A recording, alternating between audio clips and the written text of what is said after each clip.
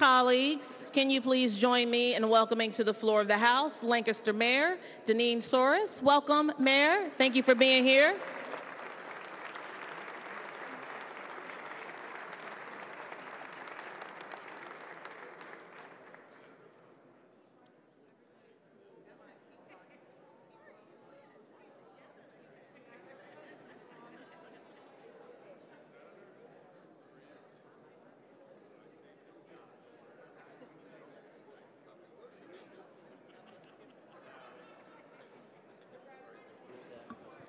The Speaker requests that the Lieutenant Governor, the Honorable Austin Davis, preside over the proceedings of the joint session of the General Assembly. The President pro tem of the Senate, the Honorable Kim Ward, is invited to be seated on the rostrum. The members of the House and the Senate will please be seated.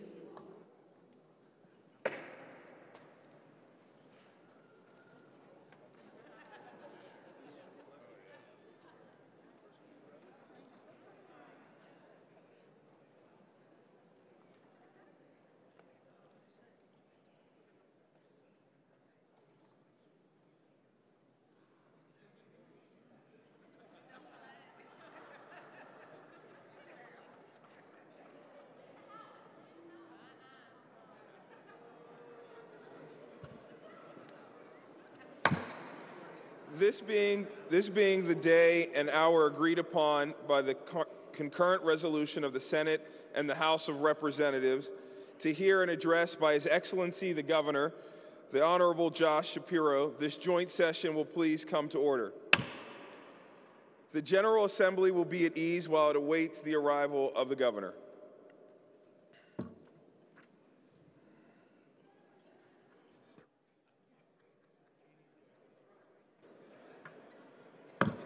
The General Assembly will come to order. The Governor is entering the rotunda. Members and guests will please rise.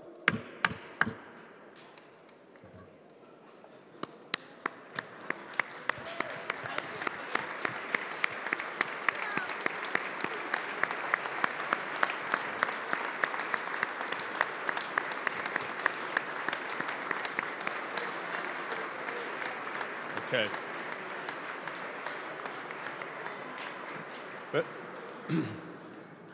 Mr. President, Madam Speaker, members of the General Assembly, as chair of the committee to escort the governor, I wish to report that His Excellency the Governor is present and is prepared to address this joint session. Thank you. The chair thanks Chairman Laughlin and the committee. Members of the General Assembly, I now have the honor and the privilege of presenting you His Excellency the Governor of the Commonwealth of Pennsylvania, the Honorable Josh Shapiro, who will now address this joint session.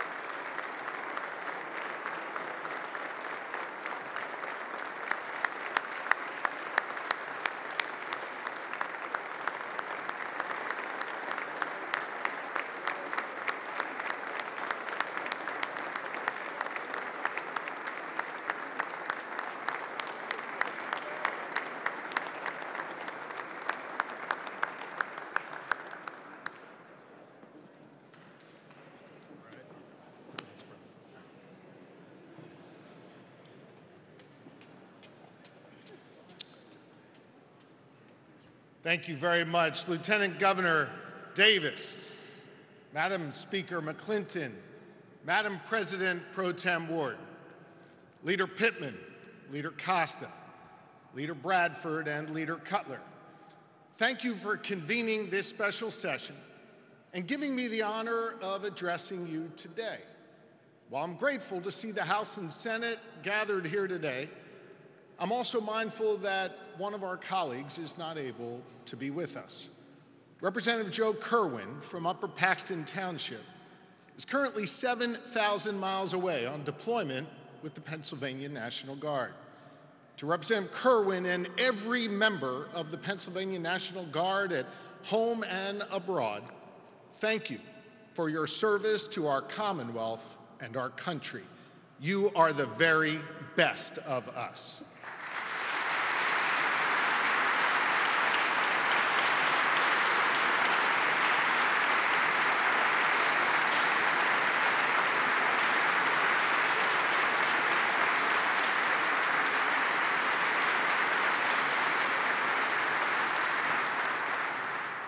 We're joined today by the love of my life, my best friend since the ninth grade, my wife and Pennsylvania's First Lady, Lori Shapiro.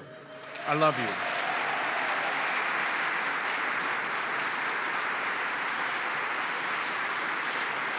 They're standing for you.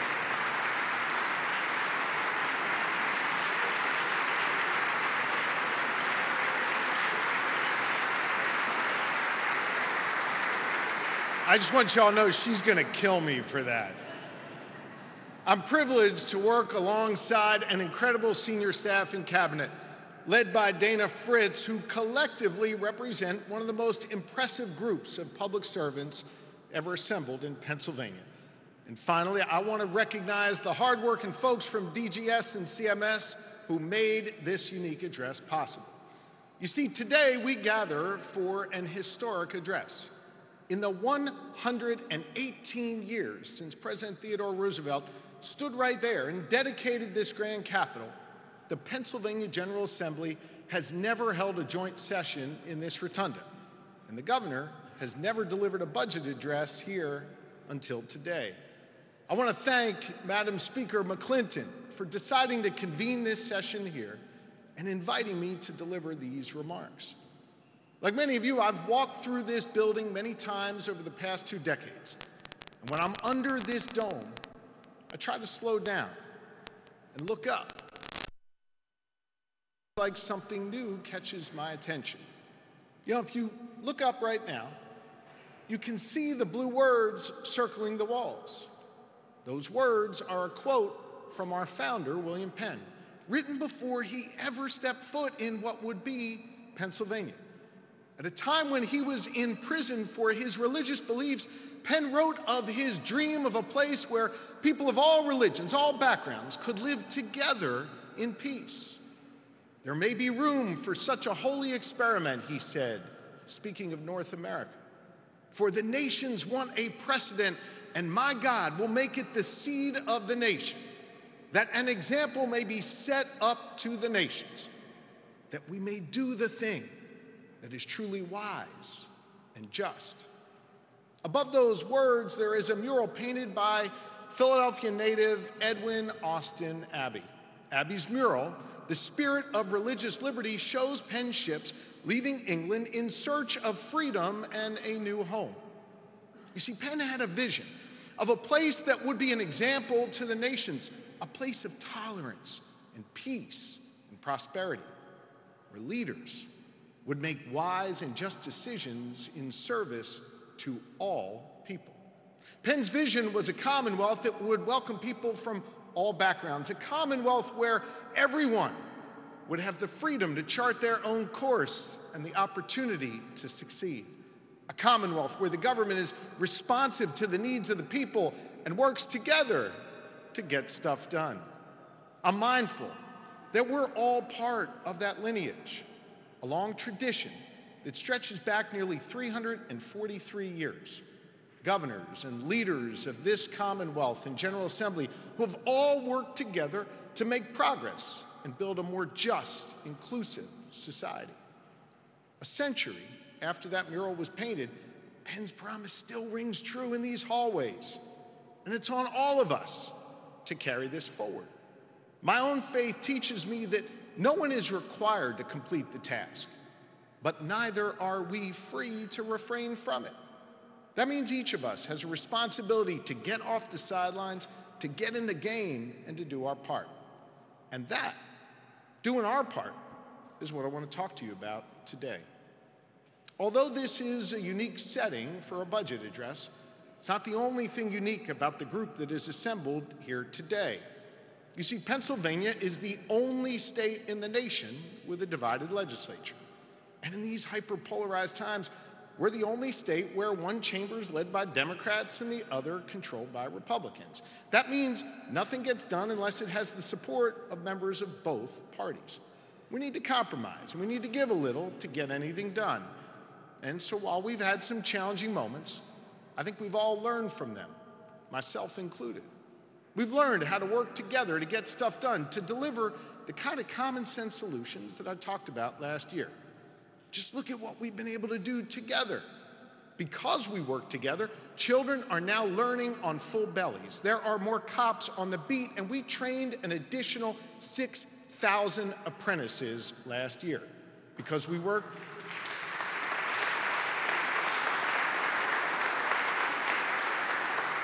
Because we work together, poultry farmers were able to get back up on their feet. Businesses are now looking at Pennsylvania as a place of great opportunity. Because we work together, we cut costs for seniors and working families. We put more money back in their pockets at a time when they're worried about high prices. Here in Pennsylvania, we get stuff done together. And when and when we do accomplish something together here in Harrisburg, when we move that ball down the field, when we put points on the board, let's celebrate that. And let's focus on the progress we're making, not on the fact that someone didn't get 100% of what they were asking for.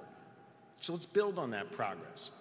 One year after taking office, I can report that the Commonwealth of Pennsylvania is on strong financial footing. Thanks to sound fiscal management in our first year, all three major credit rating agencies improved our outlook or gave us an upgrade. And as a result of that good stewardship, those ratings improvements, taxpayers are now saving nearly $100 million that otherwise would have gone to big banks and investment firms as a result of higher interest rates. Those savings are on top of the nearly $14 billion surplus available to us at the end of this fiscal year. Last year, we cut taxes and this budget continues that. It does not call for a tax increase. But now, now is the time to invest some of that $14 billion surplus squirreled away here in Harrisburg. Hear me on this. It is not a badge of honor, nor is it something to be politically proud of for some lawmakers out there to say, I took more money from the good people of Pennsylvania than I needed, and then I bragged about how I just kept it in some bank account here in the Capitol. Of course, of course we need.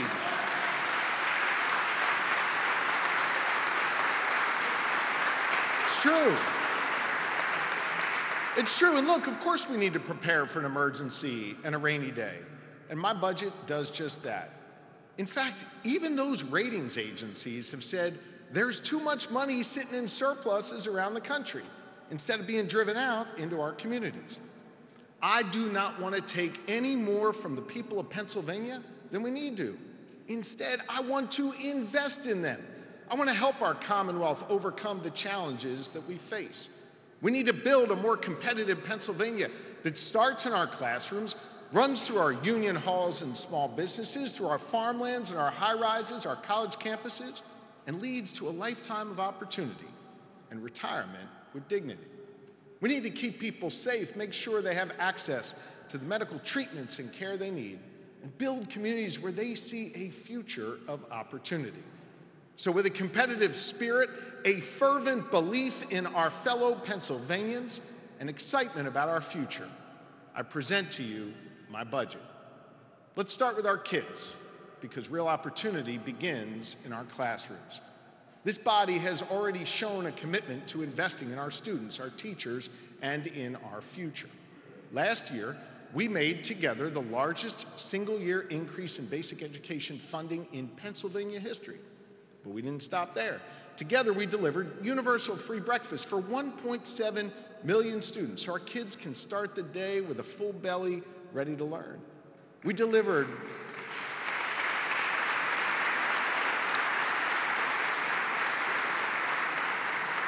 We delivered $100 million to put more mental health resources in our schools so our kids can get the help that they need. We delivered $175 million for repairs in school buildings so we can replace lead pipes, remove dangerous asbestos, and fund common sense repairs to make sure our classrooms are air conditioned in August and heated in January. And we've begun to address the teacher shortage by making sure those who are just getting started in the profession get paid for their hard work. All of those investments were new last year, all because we worked together. And that was an excellent first step. But look, we all know, and the court has ruled, that we need a constitutional, comprehensive solution to guarantee every student the thorough and efficient education they are entitled to under Article 3, Section 14 of our state constitution.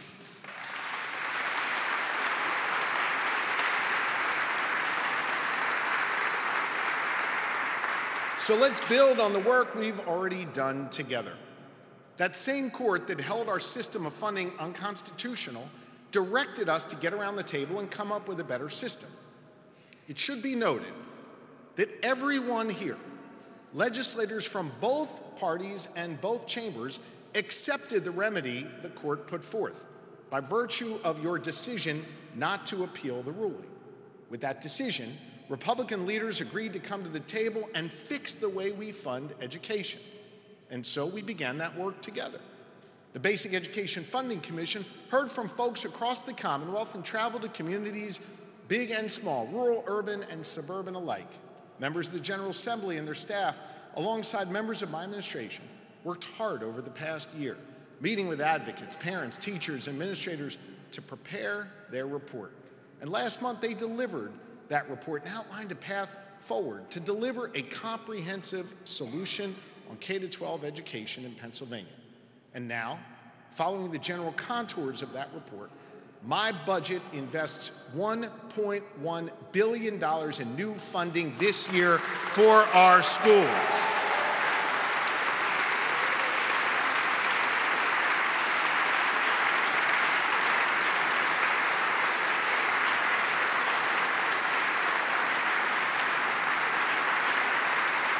That's right. And it makes sure, it makes sure that no school gets less than what they did last year as we drive these dollars out in a more equitable manner.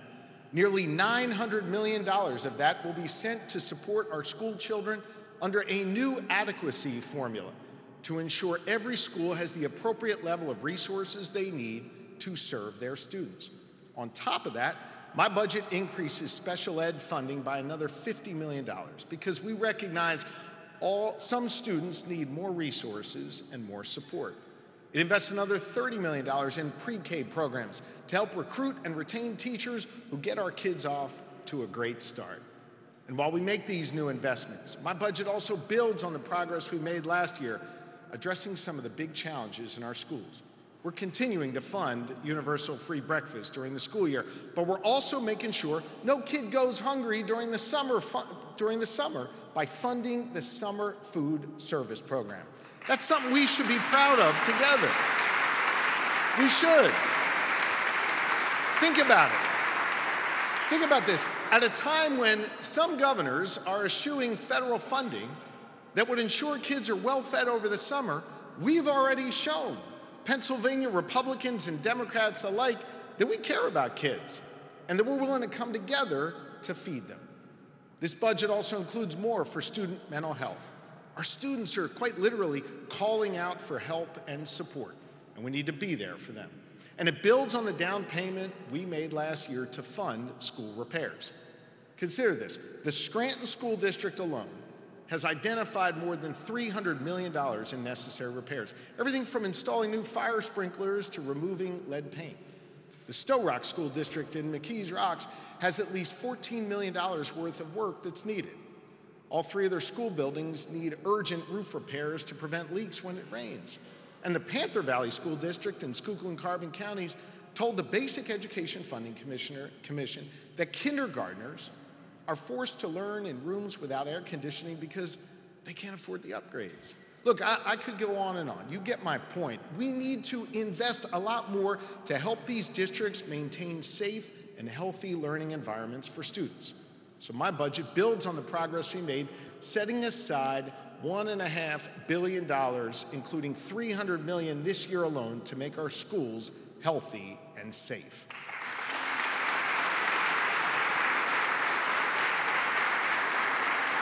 This is, this is something impacting students and parents all across Pennsylvania. And you know what? It's impacted one of your colleagues as well. A couple months ago, I had a meeting with Representative Fiedler in my office. I was a little surprised when she showed up with two of her kids who were in tow that day because their school was closed after asbestos was detected. Now, look, I was happy to see Representative Fiedler's kids, and I'm sure they enjoyed their time in the Capitol. But listen, there's a lot of other families out there who would have had to miss part of a paycheck, miss a day's work, because we didn't do our part to make sure their schools could stay open and safe. And while we repair these broken pipes in our schools, we also need to repair the pipeline of professionals who go into teaching. Because right now, the Department of Education here in Pennsylvania reports that there are about 5,500 teacher vacancies across Pennsylvania. That's in large part because fewer people are choosing to become teachers. Ten years ago, Pennsylvania certified nearly 20,000 new teachers every year. Last year, we certified only 5,000 because so few applied. We have taken some steps as a Commonwealth to improve this. We sped up the time it takes to get new teacher certifications done from 12 weeks to just under three. We're giving stipends to student teachers for the first time.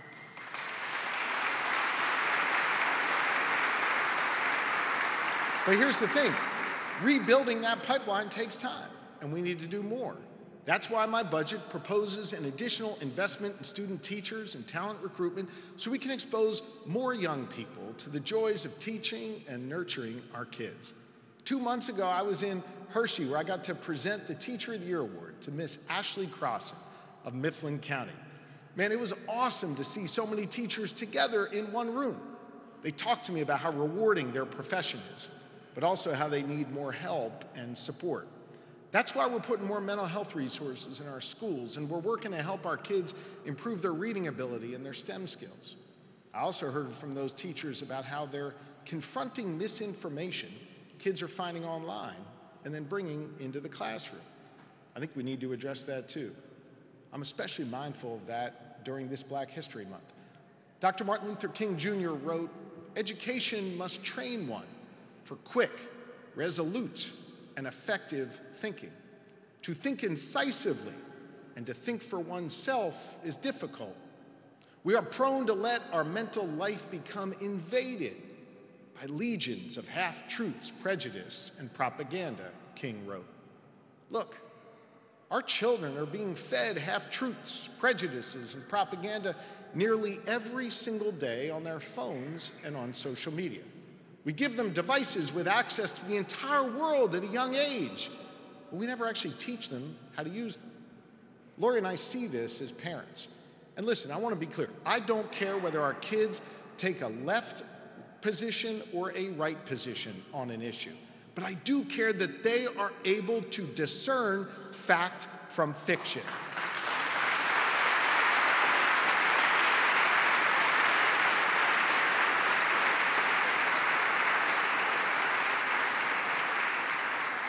That's why I have directed the Department of Education to develop a toolkit for teachers and parents on digital literacy and critical thinking. This is important, and it follows on the good work we did together last year when you passed and I signed into law a bill that requires schools to teach financial literacy. We need to ensure We need to ensure together that our young people are prepared for the world that they are living in. We also need to update antiquated state laws that cost our school districts too much money. Let me give you just one example. When the charter school law was first adopted back in 1997, the idea of going to a cyber school was new and relatively few parents sent their kids there. But today, nearly 60,000 Pennsylvania students go to cyber charters. However, we've never gone back and reevaluated how we fund these schools. Cyber charters get the same amount per student as brick and mortar schools do. And it varies district by district. In practice, that means one district might pay $7,000 to a cyber charter, while another has to pay $10,000 to the exact same school. And while cyber charters certainly need adequate funding to operate, logic would dictate that two students going to the same school, getting the same education, would pay the same rate. Logic would also dictate that they need less than a brick and mortar charter school simply because they don't have the same physical infrastructure. I know.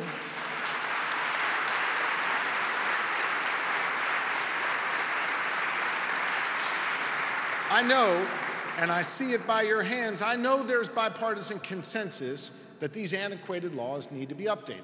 So let's come up with a uniform rate that actually reflects what it costs to send a kid to a cyber charter school. Let's say, for example, we set a rate of $8,000 per student. That's the amount that was set by a bill that passed the House of Representatives last year in a bipartisan manner. If we do that, we'll level the playing field, and as a result, we'll be able to return, get this, $262 million back to our public schools.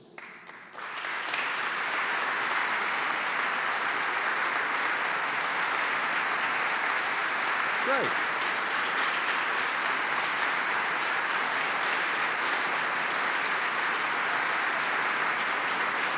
It gets better. Stay standing, because if you combine those savings with the new money I'm proposing for our 500 school districts, that would mean nearly $2 billion more for public schools next year.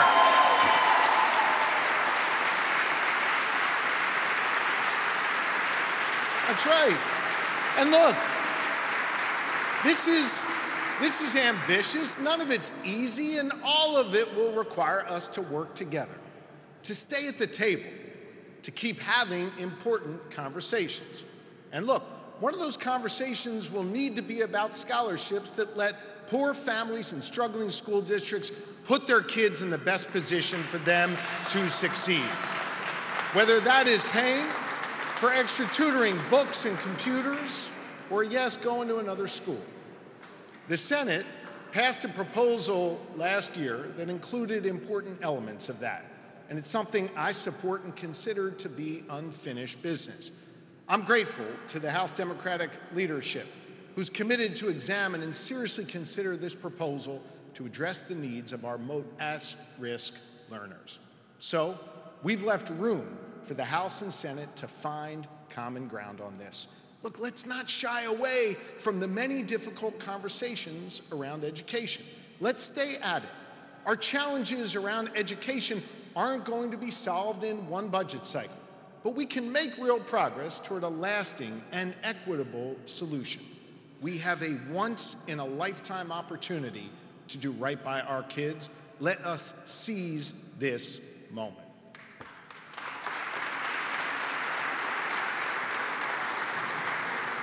If we do this right, we'll not only set our young people up for individual success, but will lift up the entire Commonwealth in the process.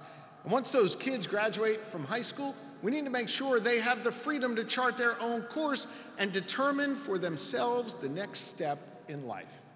Listen, I am sick and tired of hearing someone say to a high school student, well, college might not be right for you. Maybe you should consider becoming a welder.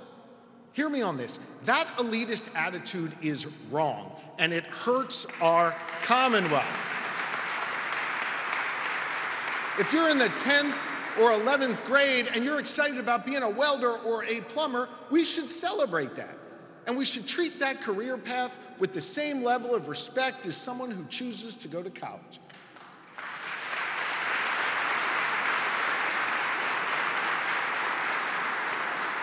We've shown that kind of respect in my administration. On my first day as governor, I signed an executive order announcing that 92% of Commonwealth jobs do not require a college degree. And as a result, one year later, nearly 60% of our Commonwealth's new hires don't have a college degree, but do have the necessary skills to help our fellow Pennsylvanians. Together, we've made record investments in vo-tech apprenticeship programs and on-the-job training. Last year, I signed an executive order creating the first in the nation initiative to train as many as 10,000 new workers here in Pennsylvania over the next five years. So when the Pittsburgh Water and Sewer Authority needs to replace lead service lines in a neighborhood like Esplen, where I visited last summer, well, we're going to fund their new workers, workers who hopefully went through our school districts, went into an apprenticeship program, and fell in love with the trades, and can go out and use their skills to deliver clean drinking water to our families. I'm coming back to you today and including these investments in my budget once again because what we did last year together is working. Since then, get this, my administration has registered 33 new apprenticeship programs and enrolled nearly 6,000 new apprentices statewide.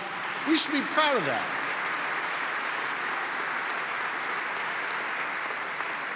Thanks to our collective work, more Pennsylvanians are training to become steelworkers in York County and machinists in Elk County. We're training more apprentices in dairy herd management, water system operations, and in cybersecurity. We're giving Pennsylvanians the freedom to chart their own course and the opportunity to succeed. So let's keep at it. That's one of the reasons why I want to create a new Career Connect program to connect employers with talented young people and create thousands of internships over the next 10 years. Because remember, there are many paths to success after high school. Some of our young people will go in the military, some will go straight to the workforce.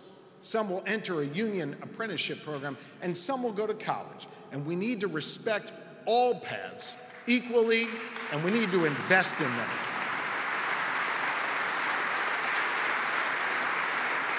So, so now let's talk about how we're going to help those who choose the path of college. In my budget address last year, I proclaimed our higher ed system broken, and I called for a new blueprint.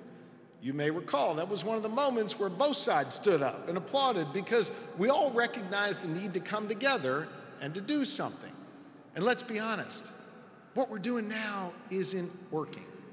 After 30 years of disinvestment, too many of our colleges and universities are running on empty, and not enough students have affordable pathways through college and then into good jobs. Think about this Pennsylvania now ranks 49th for state investment in higher education, and 48th in higher ed affordability. And by the way, gang, you want to be one, not 50 on that chart. Over the past decade, enrollment in our state system of higher education has dropped 30%, and enrollment in our community colleges has plummeted 37%. The faculty, staff, and administrators at these schools, they're working really hard, but they've been dealt a lousy hand. Because of the legislature's disinvestment, colleges are being forced to duplicate degree programs, drive up costs, and actually reduce access. And so, for the better part of the last decade, conversations around higher ed in this building have been about subtraction, subtracting resources, subtracting services, and subtracting access. Pennsylvanians deserve better than that. We need to play a game of addition, not subtraction, and focus on building a world class system of higher education. One that keeps our young people here in our Commonwealth, helps our students gain the skills that they need, and provides businesses with the workforce they require to grow and be successful. A system that is focused on competitiveness, grounded in access and affordability. Last year, I promised you I'd come back with a plan. And after a year of gathering feedback from higher ed leaders from across the Commonwealth, I'm proud to present to you my blueprint for higher education. A blueprint that has earned the support of higher ed leaders from every sector, from our community colleges to PASSHE schools to our HBCUs and our state related universities. This plan has earned the support of students, workers, CEOs, county commissioners, and mayors, and a number of folks in this room a bold, forward looking vision that I believe we can make happen together. So let me walk you through my three part plan.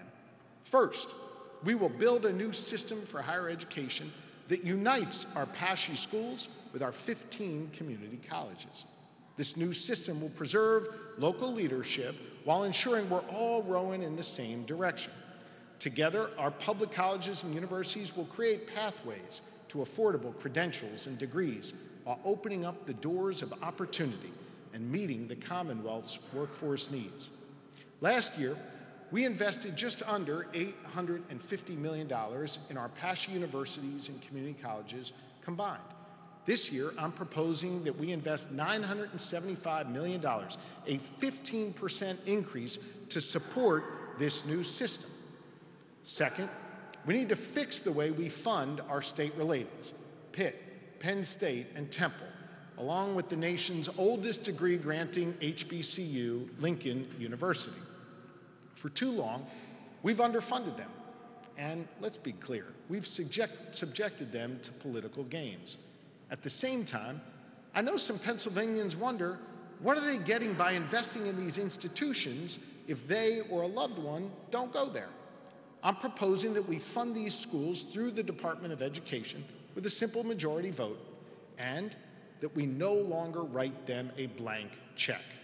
We should begin this new approach and increase their funding by 5% this year. And Pennsylvanians should know that we are going to pay for outcomes and performance. Let me explain what that means. Working together with members of the General Assembly and higher ed leaders, we'll create a predictable, transparent, outcome based funding system that will apply to schools in this new system and our state relateds. And that funding will incentivize outcomes that benefit all Pennsylvanians, like increasing the number of first generation college students enrolled, ensuring more students stay here after graduation, that they go into the fields we need, like agriculture, education, and nursing, all while ensuring there is transparency and increasing accountability for our tax dollars. In the past, our state relateds had to get a two thirds vote just to get a dollar. Under my plan, it'll be a simple majority, and that dollar could turn into a dollar 10, a dollar 20 if they meet the metrics that we all agree upon. And as we pay for performance, we also need to make sure higher ed is affordable for every student, whether they attend one of our schools in our new system, a state related, or one of our independent colleges and universities. And so that's the third part of my plan. Next year, after this new system is in place, I'll come back to you and ask you to invest another $279 million directly in offsetting costs for our students. Under my plan, no student or family making the median income or below will have to pay more than 1,000 bucks per semester for tuition and fees in our new system. And to help students at every school, we'll increase PHEAA grants for students by $1,000. Now, if we pass my plan and make the investments that I lay out in my budget, we would jump from 49th in the nation today to 22nd in just five years. It is time.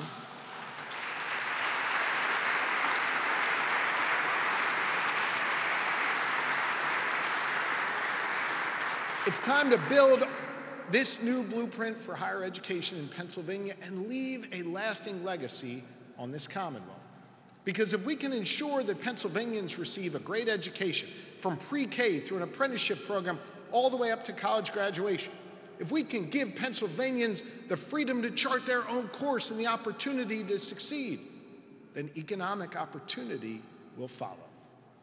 It's on top of that foundation of educational excellence that we will build an economy that is a leader in economic development, innovation, and job creation. I've made it clear Pennsylvania is open for business. We hit the ground running with a bunch of wins. As a result of our direct engagement, we secured more than $1.2 billion in new private sector investment. EMD Electronics, a global semiconductor manufacturing company, is putting $300 million into Schuylkill County and building the largest specialty gas facility in the world. Purolite is investing $190 million in Chester County to create the first US based manufacturing line for biotech and pharmaceutical products. And we convinced Excelitas, a leader in photonics technology, to relocate from Massachusetts to the Strip District in Pittsburgh as a guy who absolutely hates the Boston Celtics, it gives me great pleasure to take this company out of Beantown and welcome them to Pennsylvania.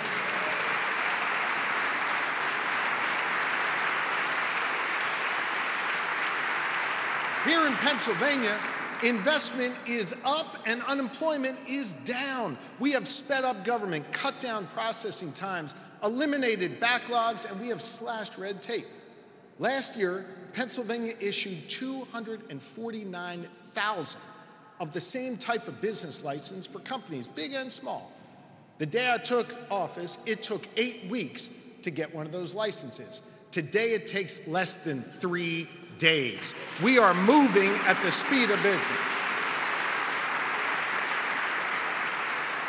But, gang, we can't stop here because I want us to be the best. That's why last week I announced that Pennsylvania now has a comprehensive economic development strategy for the first time in nearly two decades. This plan focuses our attention, our resources on five sectors where we're poised to compete and win agriculture, energy, life sciences, manufacturing, and robotics and technology. We've got a strategy to deploy different tools and approaches to lift up each one of them. But in order to execute this plan, in order to compete, we need to invest. Consider this. Over the last five years, our neighbors, Ohio, New York, and New Jersey, all committed more resources to economic development than Pennsylvania did. Ohio has one and a half million fewer people than Pennsylvania, yet they invested over seven times more in economic development than we have. And you know what? Let's be frank. Their investment is paying off. And I am sick and tired of losing to friggin' Ohio. We need to catch up right now.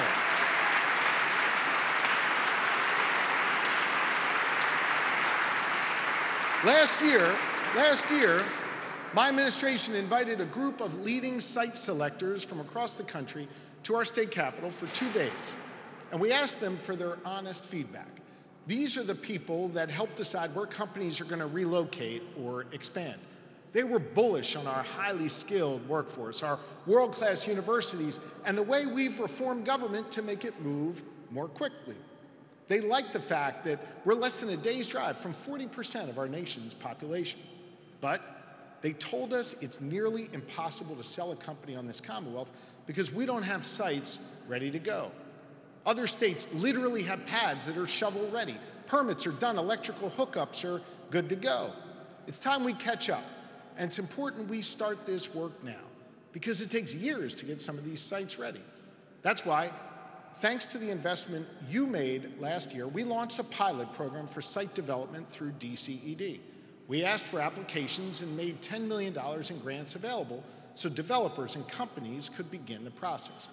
But over the course of just a few weeks, we received over 100 applications, totaling more than $235 million for site development. The demand is there. The business community is ready, and other states are already doing it. It's time we catch up. That's why I'm proposing a major new investment where we will bond a half a billion dollars to develop sites. And when it works, we'll use the added revenues we get from the companies that move to these sites to pay back that bond. There's power in these pads. Last May, Pro Tem Ward and Leader Pittman joined me to announce the redevelopment of an old Alcoa site in New Kensington to turn it into a center of high tech manufacturing and create 300 new jobs in a community that's oftentimes been overlooked. That's just one site. And that project is going to change the face of that community. Once it's up and running, the old factory that used to make aluminum will embrace innovation, producing parts for aircrafts and batteries to support our clean energy sector. You see, in my budget, a new direct investment in the innovation economy one that helps our startups grow, supports the dreams of our entrepreneurs and inventors, and gives them the resources they need to go after the next big discovery and then commercialize it right here in Pennsylvania. These sites and our investment in innovation are key to growing our economy, rebuilding our communities, and combating climate change. I know there are bills to pass and work to do to combat climate change. One of the most important things we can do right now is invest in our clean energy economy and the jobs it supports. My economic development plan will do that, and it will help businesses succeed here in Pennsylvania. And when those businesses set up shop, we want to make sure their new employees have great communities to live in, where Main Street is lined with shops and small businesses and housing is affordable. That's why I'm proposing $25 million for our new Main Street Matters initiative, building off the Keystone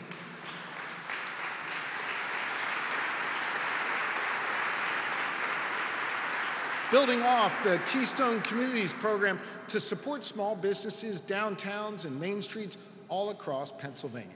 At the same time, we'll launch the Pennsylvania Regional Competitiveness Challenge, incentivize regional planning so local communities can work together to leverage the resources available to them. The LG and I have met with local elected leaders to see how our investments can support their visions. This is exactly the kind of thing mayors and county commissioners from both parties have been asking for. And as we build strong, thriving communities, we also need to make sure folks can get around safely and affordably. Last year, we finally started completely decoupling police funding and infrastructure, which put them both in a stronger financial footing. That made an additional $125 million available for road and bridge repairs. My administration leveraged that state funding to get even more matching federal dollars. And as a result, we repaired over 7,000 miles of Pennsylvania roadways, 600 more miles than we had the year before. This year, my budget makes another 125 million available so we can do even more to ensure our roads are safe and well maintained. But not everybody drives to work or schools on our roadways. Nearly 1 million Pennsylvanians rely on public transit every single day. Major employers count on trains, buses, and trolleys to get their employees to and from the office. And our seniors, seniors, depend on shared ride services for 2.1 million trips a year, especially in our rural communities. Public transit provides freedom and opportunity. It makes us competitive and it helps sell our Commonwealth to others. From the companies I talked about earlier to the organizers and fans of the FIFA World Cup and the MLB All Star Game coming right here in 2026. They all want clean, safe, and on time public transit. And that's what Pennsylvanians deserve, and it's what our economy needs. That's why I'm proposing the first major new investment in public transit in more than a decade.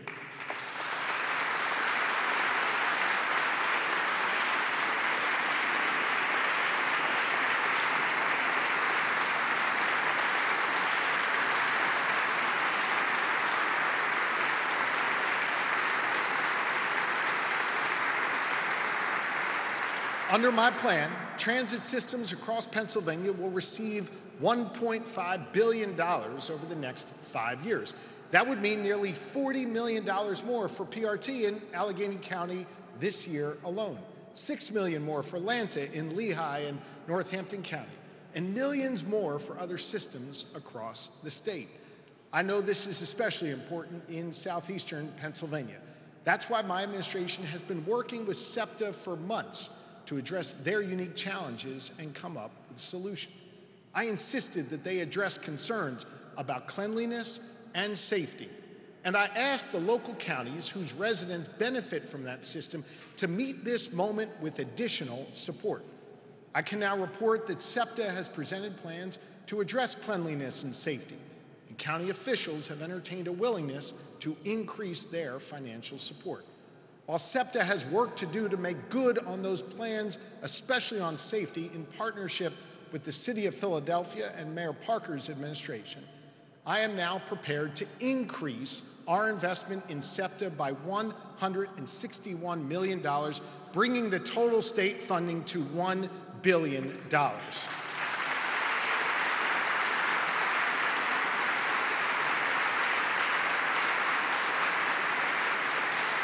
This investment, this investment will trigger an automatic match of 15% from local counties, raising another $24 million for the system this year. And based on our discussions with SEPTA, if you adopt my proposal, they will not cut service or raise fares, and they will have a concrete plan for a cleaner, safer public transit system that creates economic opportunity in southeastern Pennsylvania.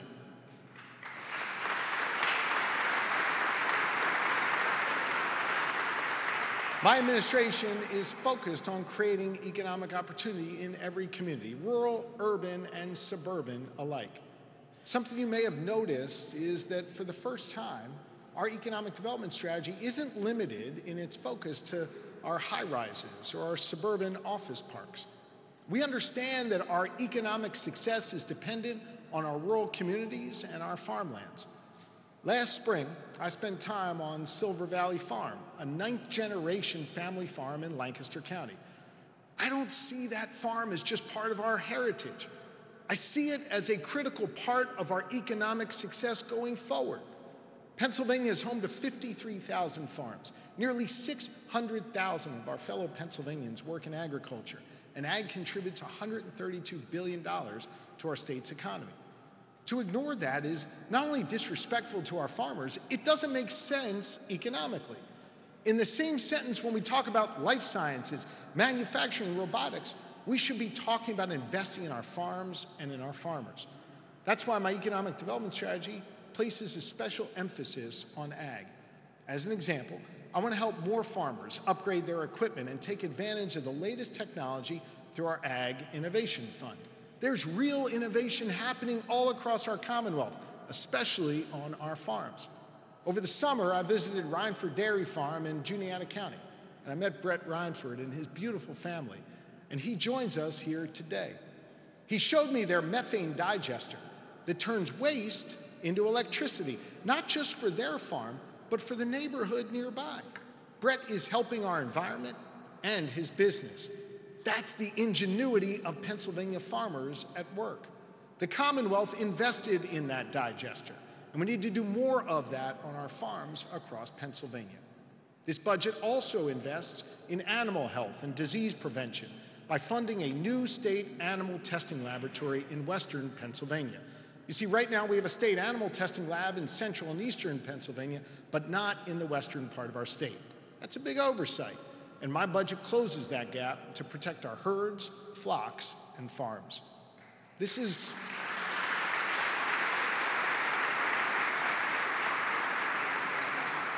This is a statewide economic development strategy that runs from our skyscrapers to our farmlands, on our roads and on our rails.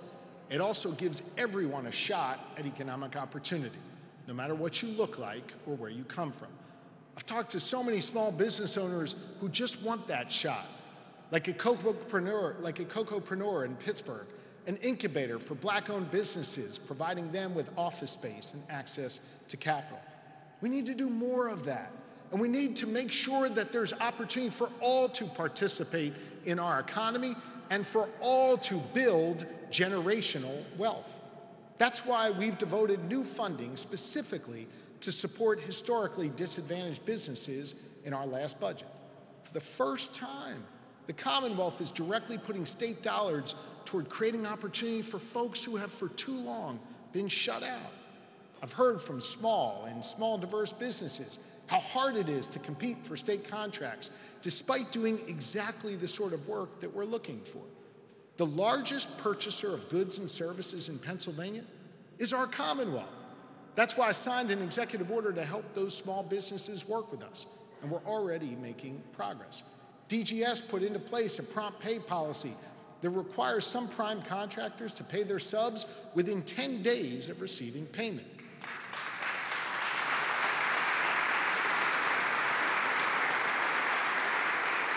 We, we raised the revenue cap so more small and small diverse businesses could qualify. And we reduced the time it takes to certify a small business to work with the Commonwealth by 33%. Look, I'm not just doing this because it's the right thing to do, and it is. I'm doing it because it's the smart thing to do. When we open up these opportunities to more businesses, we can deliver better services at better prices for the good people of Pennsylvania. I am not looking to give a hand out. I want to give a hand up and create opportunity here in our economy that gives everyone a shot.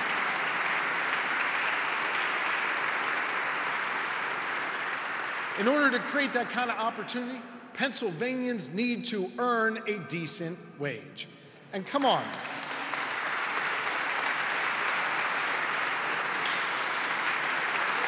Come on. Come on. Y'all should be for decent wages. Come on.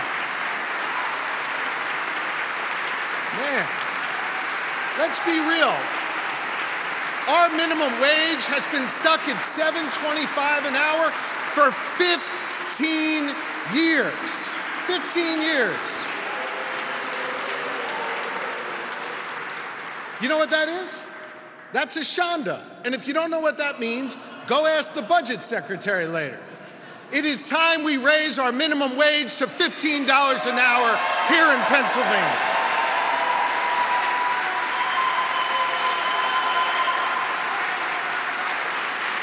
Right.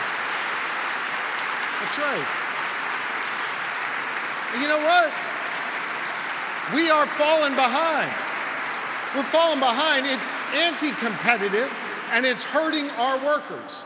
And as we've remained at a flat 725, every single one of our neighboring states has raised their minimum wage, as have 30 other states across the country. We have seen proof that Pennsylvania workers living in border counties would rather drive into another state for work so they can earn a higher wage than take a job at home in Pennsylvania. Up along our northern tier, some workers in the hospitality sector go to work in New York and leave employers here in the Pennsylvania wilds struggling to find help. Raising the minimum wage is going to make us more competitive and it's going to create economic opportunity. The House passed a bill to raise our minimum wage to $15 an hour. And I'm encouraged to see the comments of the leaders in the Senate who've shown a willingness to engage on this issue. So let's finally get this done together.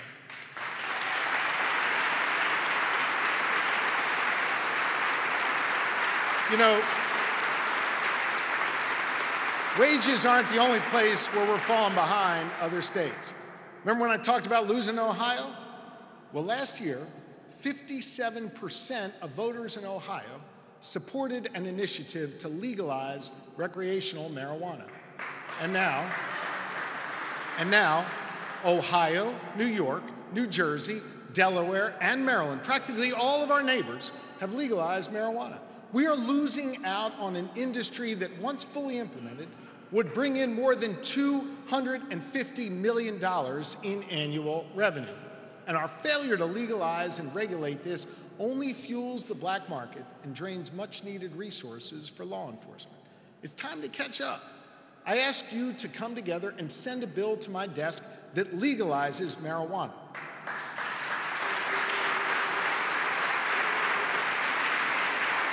Now, now that bill that bill should ensure that the industry is regulated and taxed responsibly, that we create jobs and build wealth here in Pennsylvania, especially in communities that have been disproportionately harmed by criminalization.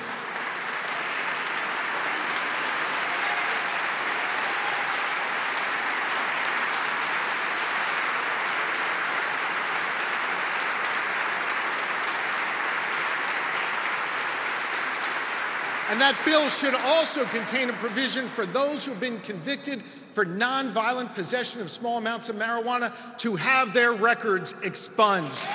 Let's stop hamstringing ourselves and start competing again in Pennsylvania.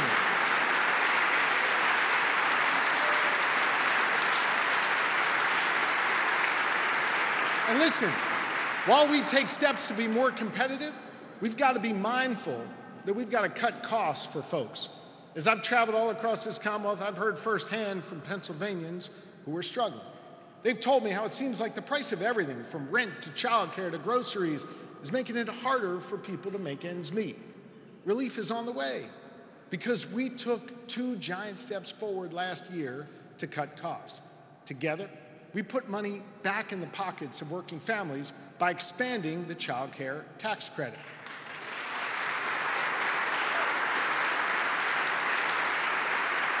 This year, 210,000 families will get hundreds more dollars back to help pay for childcare.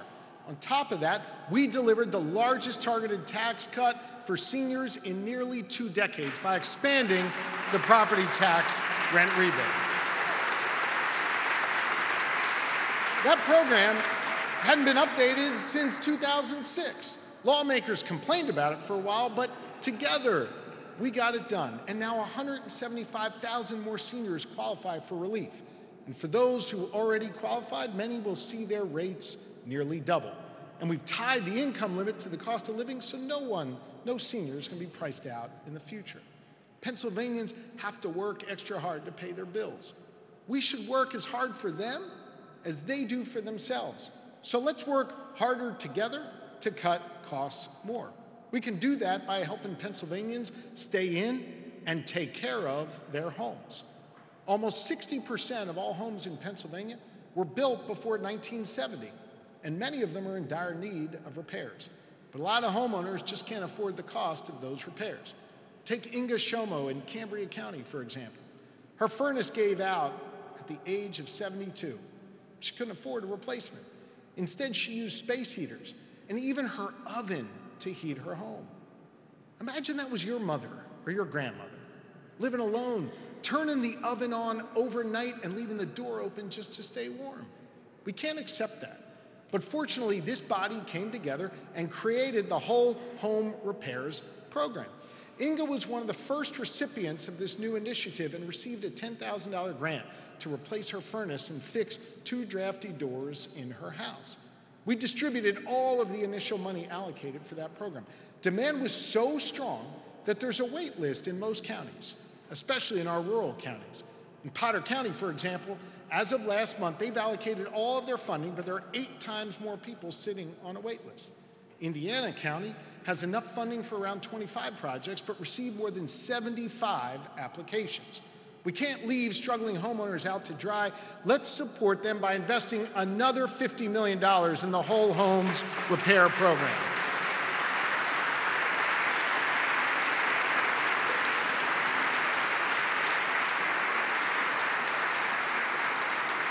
This is a smart investment.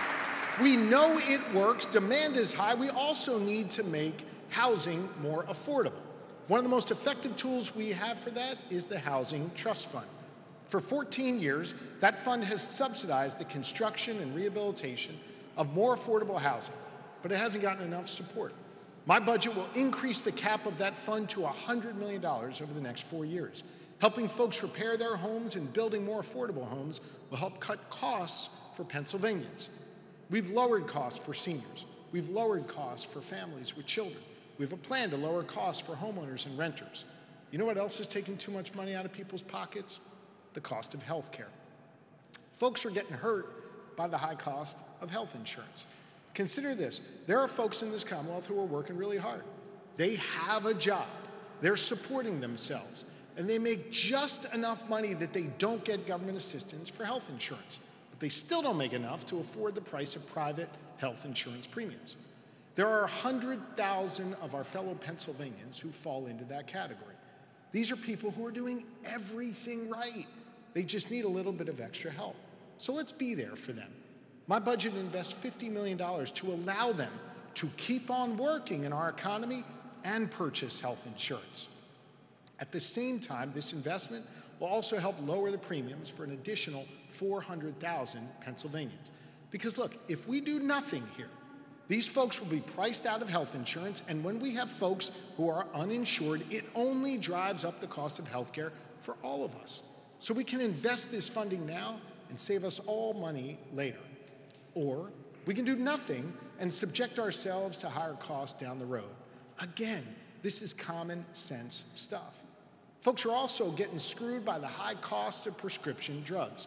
Drug companies keep raising prices, and oftentimes we don't know why.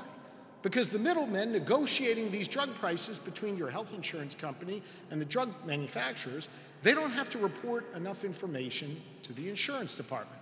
Those middlemen, they're called pharmacy benefit managers, or PBMs, and they have made record profits on the backs of Pennsylvanians. It's time to reform the operation of PBMs here. We are doing our part in the insurance department, but we need legislation to go further.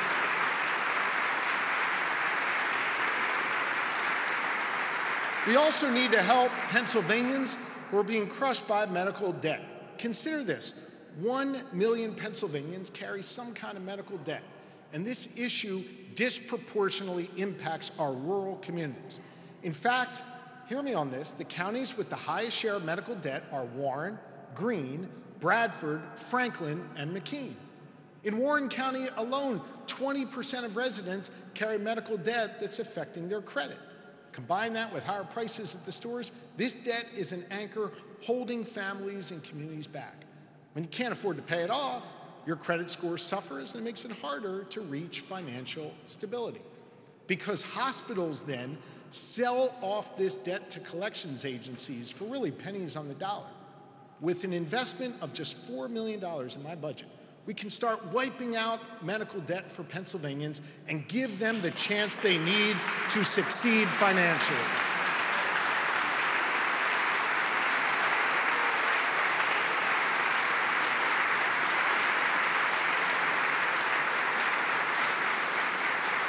Now, listen, listen, this is an issue that disproportionately impacts our rural communities. At the same time, we face a crisis in rural health care. In the past 20 years, 33 rural hospitals in Pennsylvania have either reduced services or closed completely. My administration has been working closely with elected officials from both parties, as well as healthcare and community leaders, to put our rural healthcare providers on stable footing moving forward. I expect to come back to you in the next several months with a plan to address this crisis. Because as we cut the cost of healthcare, we need to make sure it is available and accessible for everyone. But unfortunately, that's not the case for everyone. Imagine you're among the 1 million Pennsylvanians with medical debt and you've got a furnace on the fritz. You're 60 years old, caring for your adult child with disabilities, and not getting any support to offset your costs. I've listened to those families. I've seen the exhaustion and the desperation in the eyes of parents and caregivers who are doing everything right, but they still can't get their kids the services they need. It's heartbreaking. One of those parents and her son joins us today. Cindy and her adult son Matthew live in Lititz in Lancaster County. They visited me back in my office in June. Matthew requires 24 7 support, something that Cindy hasn't been able to find because our state doesn't pay direct support professionals enough. So instead, Cindy, a 60 year old single mom who's battled her own health challenges that have limited her ability to care for Matthew, is forced to provide care herself, along with Matthew's grandma, Judy. Listen, you've all heard from people like Cindy, Judy, and Matthew. They've walked these halls. They've rolled their wheelchairs into your offices year after year to ask you to step up and help them. And yet nothing's changed. The biggest reason why people can't access care is because there aren't enough caregivers. And the reason why there aren't enough caregivers is because they're not getting paid enough.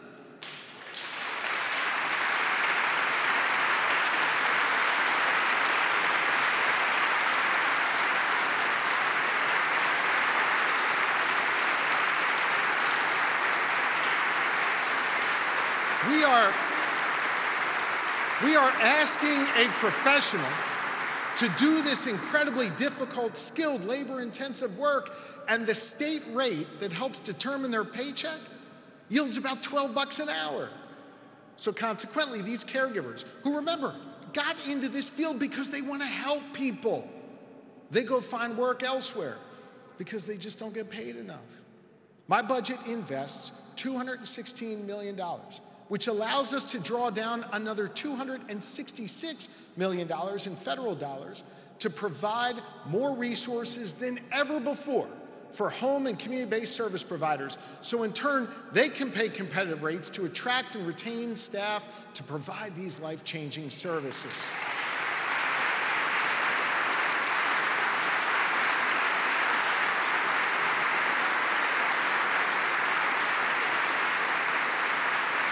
Imagine, imagine if this was your kid. Seriously, imagine if this was your kid, if, if you couldn't find the services that they need and found out the only reason why a caregiver isn't available is because they're not getting paid a decent wage because the state refused to raise our rate. I know some members here don't have to imagine it, they're living it. So let's make this the year we get it done for Cindy, Judy, and Matthew, and the thousands of others like them across Pennsylvania. Let's do this work together.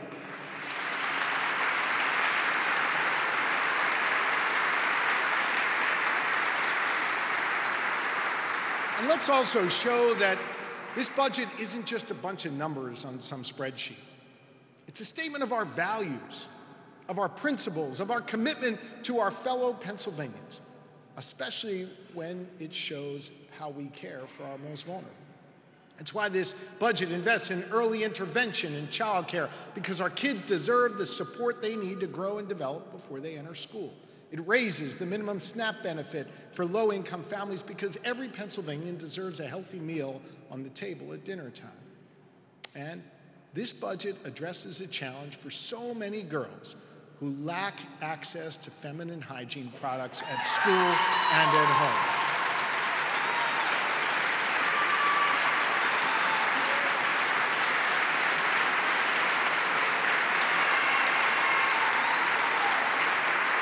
Look, look, this is something, this is something we don't often talk about. It's something we don't often talk about. But the First Lady, the First Lady has spent time this year meeting with these young women and hearing their stories. Lori's spoken to girls who have literally missed schools, school days because they got their period and had to run home in the middle of the day because nothing was available to them at school. This budget makes feminine hygiene products available at no cost in our schools because girls deserve to have the peace of mind so they can focus on learning.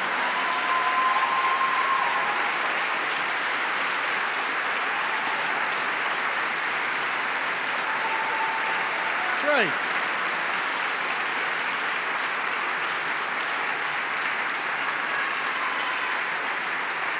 This budget also increases support for healthcare providers that provide high quality family planning tools and reproductive health care services because women and girls deserve to make their own choices about their own bodies.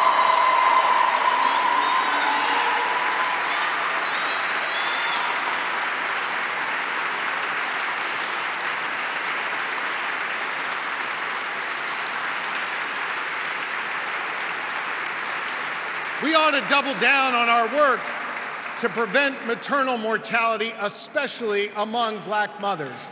And this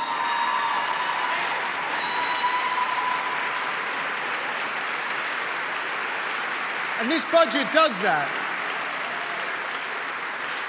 Fulfilling a commitment I made to the Black Maternal Health Caucus and a priority of our Commonwealth Second Lady and a new mom, by the way, Blair Holmes Davis. We're going to do this together. This budget invests more in the very capable hands of our AAAs to develop and deliver more services. It gives caregivers more tools to support an aging loved one. And for the first time ever, establishes an Alzheimer's disease division at the Department of Aging to support families dealing with that terrible disease. And all of these investments, all these investments are being made as we get ready to implement the first ever master plan on aging because our seniors deserve support so they can live out their golden years with dignity. Today, nearly one in four Pennsylvanians are seniors, and by 2030, it'll be one in three. Now is the time to plan for that. A budget is a statement of our values, and as we think about our values, let's remember that what happens between your ears is just as important as what happens on the rest of your body. We've already done meaningful work to address this, investing $100 million in student mental health and 20 million more for county mental health support. This budget matches those investments and goes even further by increasing support for county level mental health services, investing to keep the 988 crisis hotline in operation, and supporting walk in mental health crisis centers. And as we think about our values, we also need to think about those who've been abused or left unprotected by the law. We need to finally do right by the survivors of sexual abuse and give them a chance to confront their abusers in court after decades of injustice. Decades.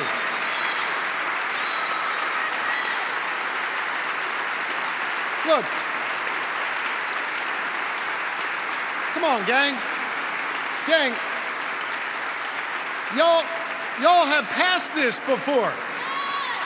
You've passed it, and hear me, it shouldn't need to be part of some political deal with some strings attached. We should do it because it is right. It is right, and it is time.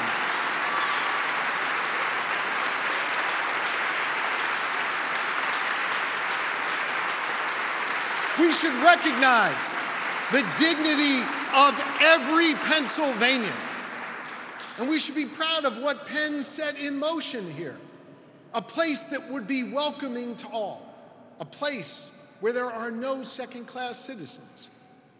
Back in 1974, right here in Harrisburg, Governor Milton Shapp, working alongside my friend Mark Segal, who joins us today, became the first governor in the nation to meet with the LGBTQ community.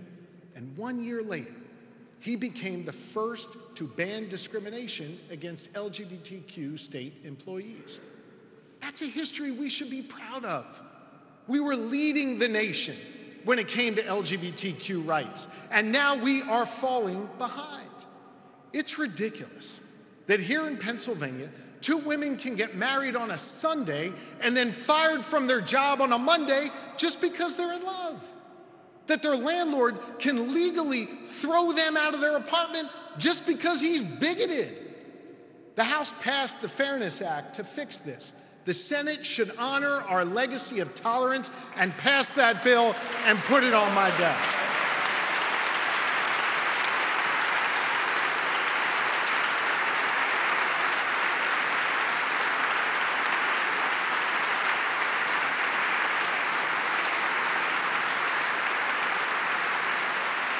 Got a lot of bipartisan claps for that. We should all work together to implement common sense reforms that make our system more fair and more just for everyone. We began that work together last year, passing clean slate and probation reform. Let's continue that work. Every Pennsylvanian who enters the criminal justice system has a constitutional right to adequate legal defense. Before I was elected your governor, Pennsylvania was one of only two states in the whole nation that didn't provide any state funding for public defenders. Last year, we came together to lose that shameful distinction and delivered $7.5 million for poor defendants. But that's just a down payment. We need to do more because the need is great. My budget invests another $10 million in our public defenders.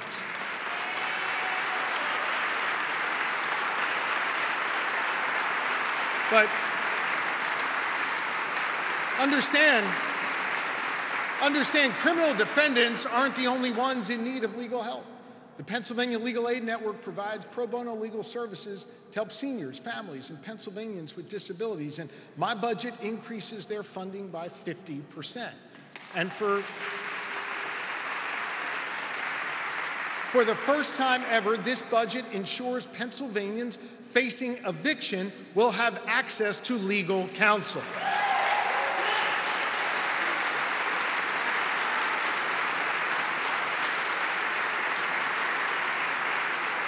You know, Philadelphia, Philadelphia has done exceptional work with its own eviction diversion program, a nationally recognized initiative started during the pandemic. Now we should expand that work statewide. And as we continue, as we continue to make our legal system more fair and just, we have to think about the victims of crime and those communities that are impacted by gun violence. Let me tell you about one of those victims, Nicholas Elizalde. Nicholas was a wonderful ninth grade kid from Roxborough. He actually volunteered on my campaign because he cared about his community. He had a bright future ahead of him until a gunman killed him after a football game. I've talked to his mom, Meredith, several times. In fact, many of you have heard from her too. Since Nicholas's death, she has been a powerful advocate and testified before the House Judiciary Committee for laws that might have saved her son's life and could save more lives in the future. We're honored to have Nicholas's mom here with us today.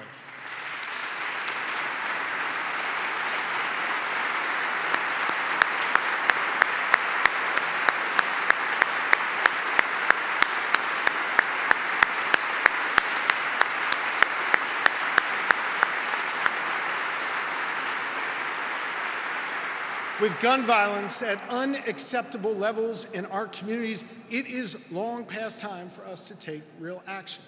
Lieutenant Governor Davis knows this well. He's been leading on this issue since his time as a kid in McKeesport when he saw someone get shot on his block.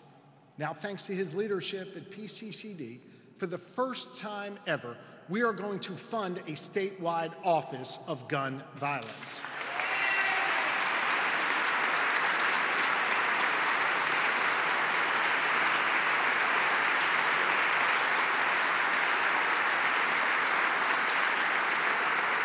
I'm proposing that we invest another $100 million to invest gun violence all across Pennsylvania.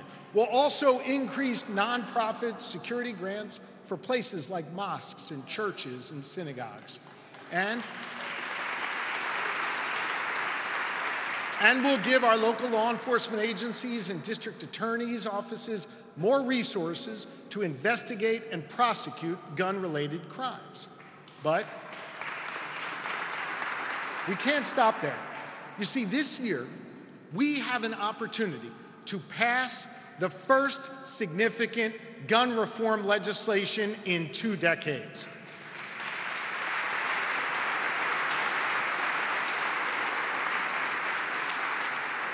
Why the hell are we okay with loopholes on background checks that allow criminals to get their hands on guns? Just close the loopholes.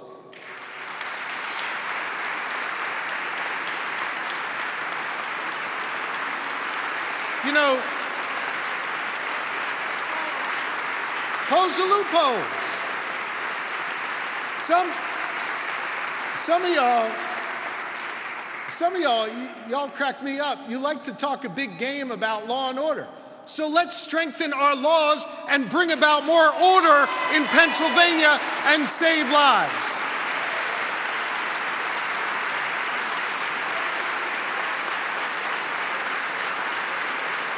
The House, the House passed a package of bills to do that in a bipartisan manner. The Senate should do the same. The community is crying out for us to act. Law enforcement is on the side of the community, not the inaction in this building. And you all should be too. You know, our police officers do a dangerous job in dangerous conditions, and we need to have their backs. Last year, we provided funding to help local police departments recruit more officers. We also made a massive investment in the Pennsylvania State Police, creating four new state trooper cadet classes, which PSP is already hiring for. But the need is great, and it's clear we need an additional four cadet classes. And now is the time to do it, because PSP has seen a 258% increase last year in the number of applicants taking the test to become a state trooper.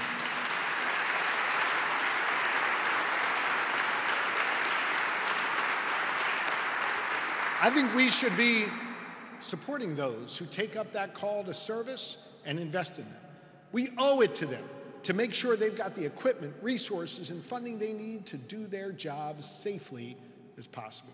And it's not just the cops who need more resources, equipment, and technology, it's our first responders too. Last year, we took a step forward when we helped fire companies invest in better equipment and more training to prepare to fight dangerous wildfires and expand efforts to recruit and retain more firefighters. After the Norfolk Southern train derailment near our western border a year ago this past Saturday, we made sure the railroad paid to replace all the firefighting equipment used up or contaminated as a result of their crash. This year, my budget expands on that work by doubling our investment in the State Fire Commissioner's Fire and EMS grant program. Just a few weeks ago,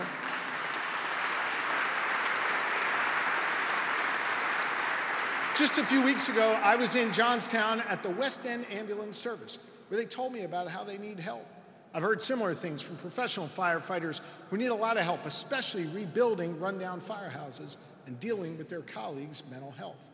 We have to ensure our first responders are well staffed, well funded, and well equipped, and that's exactly what this budget will do. Look, this year, we have a real chance to build safer communities, become more competitive, invest in our students and their success. I've just laid out a comprehensive and aggressive budget focused on doing just that, where each piece builds on the other, where that young girl gets a great quality education no matter her zip code. She has access and options for her future no matter what path she chooses where that's going straight into the workforce, into an apprenticeship program or college, a college that she can afford. Where there are good jobs in her community because we reinvested in it. Where as she grows up, she's got a healthcare system that's not working against her, but working with her. Where she gets to age with dignity. And of course, where she gets to live in a commonwealth that respects her for who she is. I know that's a bold vision, and some will reflexively just be opposed, saying we can't afford that. Well, I would argue we can't afford not to invest right now.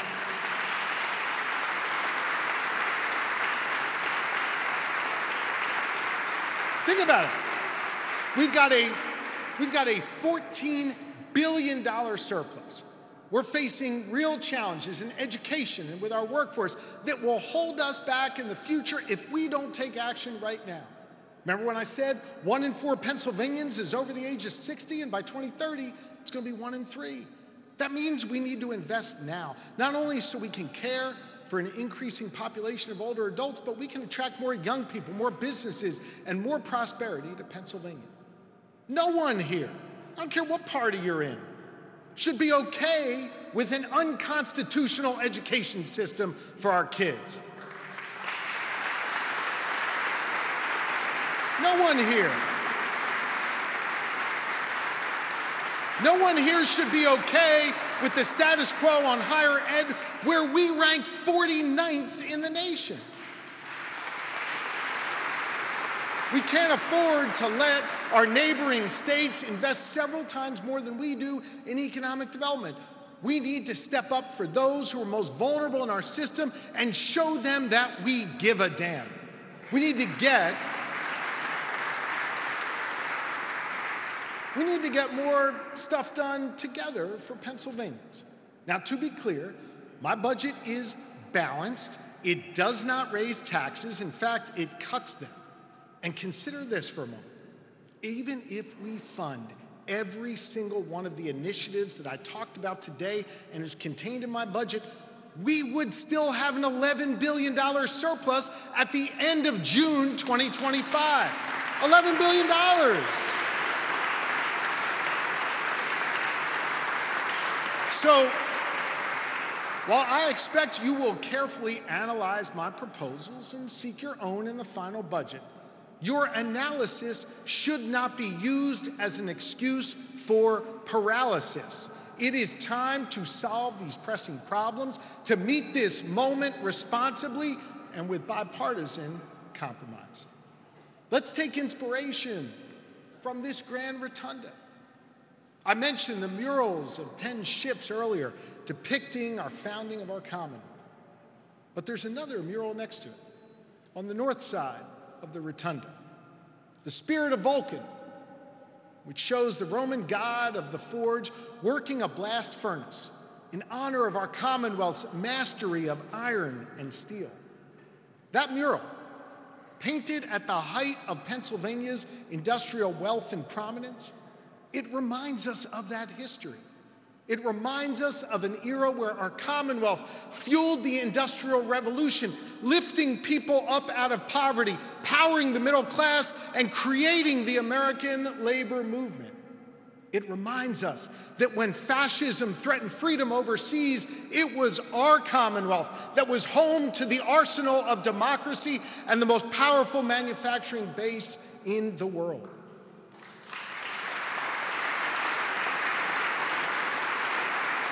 You know, our kids read about those things in our history books, and they're depicted on these murals. But I don't want our children just to be inspired by our past. I want them to be hopeful for their future.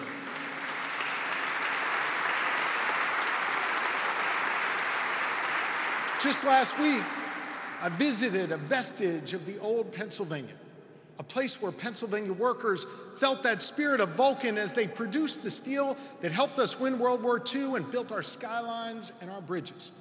Today, Mill 19 is once again a driving force of prosperity and progress. Progress growing out of unique partnerships and building the next big thing in robotics and biotech that will shape our future and change lives. So when I walk these halls and I see these depictions of our past, I can't help but feel optimistic about our future. A future we will build together, staying true to the words and the creed of Penn as we work to do what is truly wise and just. Thank you all. Now let us get to work together. Thank you.